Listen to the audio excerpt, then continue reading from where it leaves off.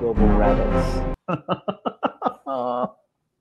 you know what the worst part is when he said it? The first time I saw the movie, when he said it, I heard rascally rabbits. I'm like, what? what just? What just happened? Yeah. what are you talking about? Radagast watches Looney Tunes all the time. And then, like, I started, like, I'm, I'm, I missed half the chase, really, thank God, because I was thinking in my head, I was trying to work it out, and then I was like, Rhosgobel, he lives in Rhosgobel. That's okay, I get it. It took me a few times to figure out what he was saying. I was googling like genus and species rabbits, and it's like, what what type of rabbit? Oh, Ros Rhosgobel. Ah, got it. I understand now. Uh, We're, we're off topic. Yeah, we are. And and and although I do love the fact that Gandalf's like, no, they're gonna catch you, and he's just like, no, they won't, and that's it. That's the like Yeah. that's his that's his comeback. No, they won't. Me? What? My rabbits? What? No, Gandalf. Come on. Silly Gandalf. Um. So, whoever it is the person. comes in, brings and brings word that that Elrond is needed. Blah blah blah blah. You know that they're going to have to face the necromancer. Blah blah. blah. We set that up. Right. Elrond is just is he's not distraught. Distraught's not the word. He's burned. He's burdened, and he shows up at he shows up at the door of the cottage right before Estel's about to run off to, uh, to his lesson and says, "I think we're going to have our lesson here today." You know, and and you know this might be one of the few times that he's been inside the cottage. As a matter of fact, Gil, and so Gilraen might be like, like clearly like something is up here. Right. um, and so He's maybe he's come to the house because um this is probably a really bad idea because I that it's probably not well known who the necromancer is, but if Mhm. you know the people in the halls, the main parts of Riven, Rivendell, uh, that's what they're talking about is what what do we need to do about this Yeah. necromancer? And Elrond's just had enough. It's like I need to get away from this. Where can I go to get away from these these elves and their talkings about the necromancer? Well, hey, there's the Human Cottage on the edge of town. Right. Nobody's going to bother him there. Right, You know, because right. maybe people keep coming up to him. What you know? What are we going to do? And it's like, what, I'll let you know what we're going to do when I know what we're going to do. right. If you give me time to think about it. Um. And so, okay. So let's get into the story real quick. Right. Before we do that, Uh, I have to turn on the light because the sun is setting on Yeah. Des Moines, Iowa. So just Uh-huh. give me a second. Midwest. We're back. All right. Uh, and better lit. Anyway, so um, let's get into the story. So the first thing we're going to see is Yavanna walking through the forest, and you know you hear this crashing sound, and you know she's like looking out into the forest and trying to see, and then this thing comes careening out of the forest, and we see a, a a saddened and horrified look on her face, and she just puts out her hand, makes some sort of gesture, and it just passes out at her feet. And anticlimactic as all get at. Um, It's it's the start of the episode. yeah, it's fine. Right. Um, Orome comes riding up. And so their conversation, I feel like Orome's first impulse is going to be to kill the thing. Yavanna's impulse to not kill it. Um, but somehow we have to get out of that conversation that Orome's been off looking for the children. You know, maybe Yavanna even asks him, you know, have you found them yet? Have you found the children yet? We could even um you know, when uh I see the scene, the beast comes charging through, uh she puts the beast to sleep, and then when the beast is asleep, that's when Orome comes through. Right. Yeah. Right. And uh you know, maybe he goes, "Wait, well, did you just kill this thing?" She's like, "No, I didn't kill it." It's like, "Oh, sorry." And then she's like, "Hey, where have you been?" And she just says, "You know," have, or like even, "Have you been have you been hunting these beasts? Have you been hunting my beast?" Yeah. No, I was I was off. You know, I would never do that. Right. right. What? What? No. no. Of course not. I was I was off looking for the children. Uh, yeah. And then um, you know I was looking for the children, and then I saw this beast Yeah. crashing through the woods. and maybe he should tell maybe we can set up the fact that they're going to have to be killed you know he he's Yeah. going to he's going to set it he's going to say something to the effect of you know Yavanna they've been killing everything that they see you know we're they're going to have to we're going to have to do something about them they can't we can't just let them you know you created all Heaven these forbid. you we, we created heaven all Forbid this. yeah Please.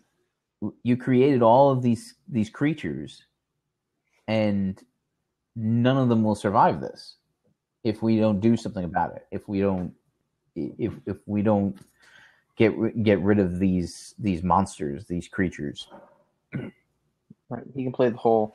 Uh, you know, what if you know, what if this thing had come upon the children? You know, heaven Right. forbid one of these things hasn't already found them. right yeah yeah um so she's going to go back she's going to go back and talk to Aule because he's going to give he's going to confess the creation First of the all- dwarf star go ahead First of all, can we totally make this beast a dinosaur?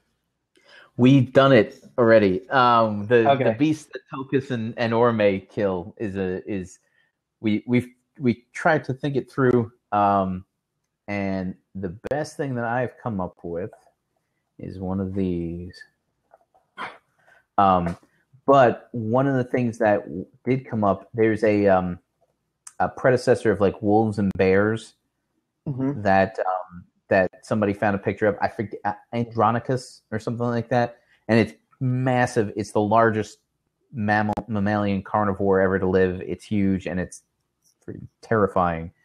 Um, so I think that that Or would maybe, maybe it's a uh, it's a rabid giant sloth. You know, those huge ones that are like eight feet tall. Who knows? Maybe they're maybe they're so slothful because Vanna put the spell on them when it was charging through the jungles. I'm just saying. I'm just saying it's a Maybe. possibility. maybe. I'm just saying it's on the table. All right, this Hey, was my fairy tales. Yeah. You gotta explain how the sloth became sloth. Yeah. Yeah. yeah, yeah. One second. One second. Let me find this thing.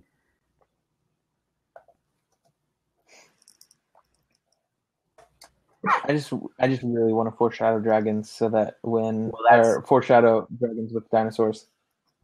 Yeah. That's how Melkor made the uh, the dragons, just twisted dinosaurs. Okay. I found it. I found it. I think. I think I found it. Okay. So I'm gonna put this link in right there. That didn't work. What's this thing called? Oh, there we go. There you go. All right. That is a, a picture of a T Rex and a Giganotosaurus. The Giganotosaurus is on the right, the T Rex is on the left. And I think a, a Giganotosaurus is the way to go. Because it looks like. Uh, it looks a little, and actually, a, a Giganotosaurus, they the head is shaped a little bit differently from this. This the head looks a lot more like a T Rex. In actuality, their heads are more, um, more alligatorly. It, it, they they come down. They're more wedge shaped. Is I think the word I'm looking for. And they are terrifying, and they are bigger than a T Rex. There's also this whole there there's this whole debate in the paleo world where it's like all these different dinosaurs that all look the similar. Uh, they're like, oh, uh, like people half half the community, less than half the community, like uh, these are actually the same dinosaur. It's older. It's just like this Yeah. is an older version than this one. It's just all these all these people that are finding Yeah. these fossils just want to name it these Yeah. dinosaurs. No, so they're like oh no, no, it's Giganotosaurus different. is It's a actually Gigantosaurus. Giganotosaurus Rex. is actually different. Like the the shape of the skull is different. Right. Um, but it also it looks weird. It doesn't it doesn't look like a T Rex. Like it it it looks strange. Right. Well, this one's green. That's weird. I'm cool with it. Um, but anyway, they, they and they're really cool anyway. But um, so and Andrewsarchus, see if I can find that real quick. Um,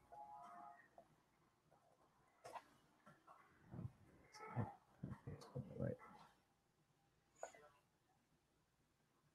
Maybe that's right. Nope.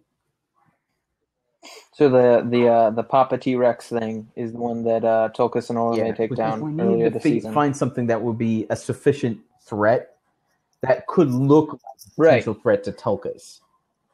Um, The, yeah, to the demigod. yeah, I mean, Tulkas is going to be about ten to twelve feet tall, like like right off the bat, and he's they're going to be him and Orome are going to be able to handle this thing with relatively little difficulty, but it's got to at least look like it, it could actually do Right. something to them. Can this be can this be one of our uh, spin-off shows? Is like a buddy Yeah, cop drama with Tulkas and Orome, and then like like the, the the season one finale of their show, like they they take on like a Sharknado or something. I've been saying it the entire time. Is that that's already been done? You know, the the animated adventures of Batman and Superman. It's already been done. oh yeah, right, right. Um, But our show's different because our guy can't fly, so it's different. yes, he he's different. Incredible, not Superman. Yes. right. Right. Exactly. Um, so okay, is there anything else that we want to say between Yavanna and Orome? Okay, so the next thing we're going to see is Yavanna talking to Aule, and Aule can already be working on the chain. Like he, that's what he's doing. Yes. You know, we don't. He's not. It'd even be cool. It'd even be cool if we uh if he's been making this chain throughout like four or five episodes and it's been in the background this whole time. Mm, And it's like episode four or that's too early, but like episode five or six. yeah. Um like we just see one or two links and then just every episode, every time we go back to his his warehouse or whatever his workshop. Like it's it's it's two or three more chains. I think And then that- after the doors thing falls through, that's that's when he starts to go to town on it. it would start he he would start in episode eight because that's when him and Manwë go to Utumno. All right, and they meet and they meet with uh, Melkor, and there's this awesome confrontation between Aule and Melkor. um, it's it's gonna it's yeah, it's awesome. Um, so We're going for the Emmy with that scene. Yeah, well, because um, because uh, Manwë is like is like okay, it's time to go, but Melkor is still trying to bait him, and so he says to Aule, he basically insults Manwë to Aule, and that's it with Aule. He is absolutely had it, and he gets right up in Melkor's face, which is going to be hilarious because Melkor is going to be like up here on him. It's going to be fantastic.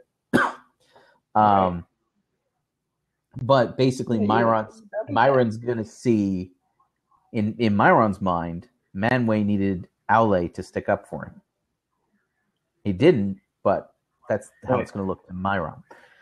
Right. So any anyway, um, so Aule's working on the thing, right? And Yavanna talks about how worried she is for her creatures, and you know she's basically going to to come to him with the concerns that Orome basically just gave her, like you know that you know if if these if nothing is done to to protect her her creatures from these beasts then they're all going to be destroyed.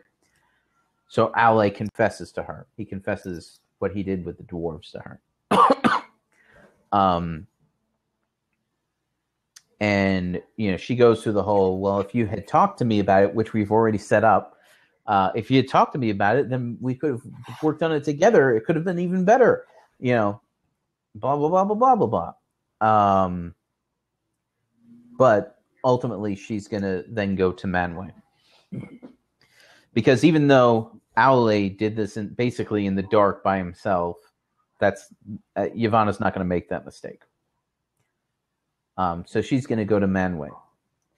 At which point, Mairon comes in after Yavanna leaves and sees the chain. We have the discussion between Aule and Mairon. you know, what is this you're making? And Aule completely trusts him. Aule has no reason to suspect him. Um, and so he just tells him, you know, if the way things are going, at some point, Melkor is going to have to be stopped. He's going to have to be restrained. and Mairon's basically going to be like, but, you know, actually, Melkor's had a lot of really good ideas. And, you know, we, we, we built the lamps with his help. And, you know, the the problem is that everybody keeps blaming everything on Melkor. You know, right. as, as, if everything is his fault. basically, that's because it is. right, right. Red um, flag. Um, right.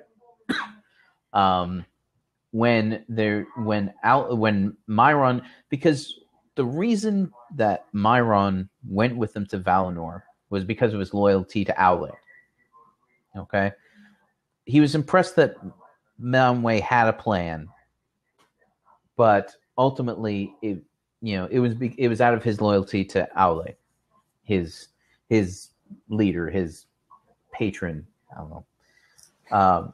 Um, and now that he sees that Aule has completely set himself up as an enemy of Melkor, he takes one of the he steals one of the links of the chain before it's put on. So it's it's you, you know what a torque is? I can pretend to. There, it's um jewelry that the Celts used to wear. It's like um, it's yeah, it's a, a round. Yeah, it's a round thing that goes around your neck, and you can pull it apart because it's made out of precious metals and it's very malleable. And so it could kind of be in that shape because he hasn't he hasn't welded it shut yet. Right. And so you know, or, my go on. Well, never mind. It was a bad idea. Carry on. Okay. okay. Um, Self censorship. And so Mairon steals. I do that all the time. Um, usually after I've already started saying it. Yeah. My Mairon steals it, and um, and he's gonna he's gonna take that that little gem back to uh. Um, well, you know what the uh, he uh, Mairon he could steal like like kind of a preformed link, but he could also just steal one of the regular links because that would give us the opportunity to show Melkor's power later when he brings it to Melkor. Oh, to joining, yeah. Uh, where if he if he it's it's kind of it's a link that hasn't been enchanted is a awkward word to use in this instance, but it hasn't it hasn't been attached or whatever. It hasn't been fully completed, but it's kind of a link in form. Yeah in link form, and so he mm-hmm. brings it to Melkor, and Melkor is the one that he uses his power of heat basically to superheat right to weld it shut on Eonwë. Uh, well, yeah. even yeah, to form it into whatever form he needs it to be. Yeah. Okay. Yeah, I like it. Um, now it would be incredibly easy to just have Mairon find the children on the way there but there's a problem because Cuiviénen is not on the way to Utumno. Correct. not even a little bit. um, so where's Angband? He's Angband is closer to Cuiviénen. Um, pull up. Cuiviénen is very, very far to the east. Yeah, yeah. Cuiviénen is very, very far to the east. Um, if you could, if you imagine like Europe, Utumno is in like Norway, Angband is in like Germany, and Cuiviénen is like by Stalingrad. Yeah. Um, have they renamed that to Volgograd yet? I think they have.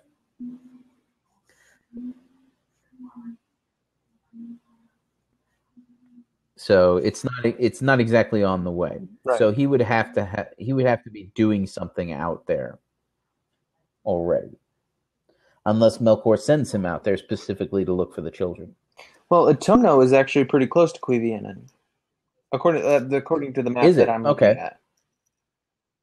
Okay.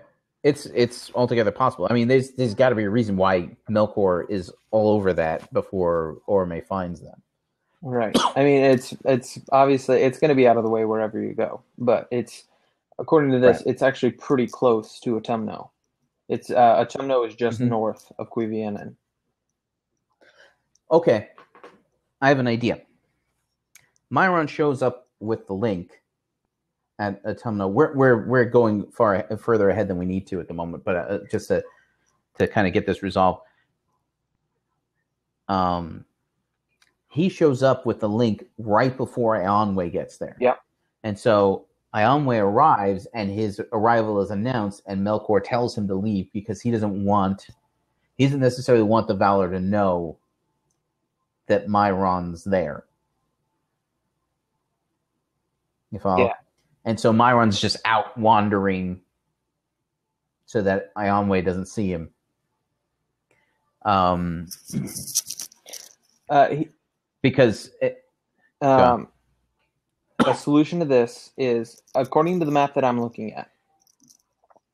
Mhm. Utumno is, for all intents and purposes, directly um, east of where Mairon would be coming for, would be coming from, um, and so Utumno is? uh, it's directly east from Taniquetil. Yes, yes, I agree. And so um, Mairon heads straight east, gets to Utumno, um, gets the link to uh, Melkor. Uh, Anwa shows up. Whoops. What are we going to do? Um, uh, since Cuiviénen is south of Utumno, the only other Right. major thing that's that way, well, there's two things um, that are that way. Uh, the first one, which would be interesting, is Mordor. Um, it's an interesting option.